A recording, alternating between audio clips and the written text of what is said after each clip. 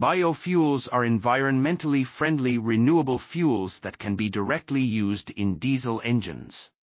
However, some drawbacks, such as a higher density, viscosity, a lower calorific value, and an increase in nitrogen oxide, NOx, emissions, have led researchers to explore ways to improve the physical properties of biofuels and reduce harmful emissions.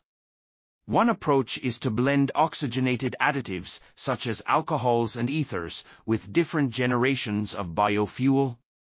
Research has primarily focused on alcohol additives with first-generation biofuel, but few studies have examined the effects of oxygenated additives with second-generation biofuel.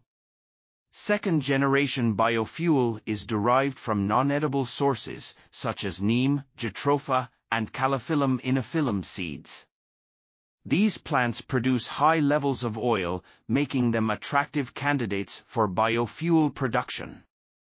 Neem, jatropha, and Calophyllum inophyllum biodiesel blended with methanol or diethyl ether were found to reduce carbon monoxide, CO, and hydrocarbon. This article was authored by Saad Ahmad, Ali Turab Jafry, Muteeb ul Haq, and others. We are RTCL.TV, links in the description below.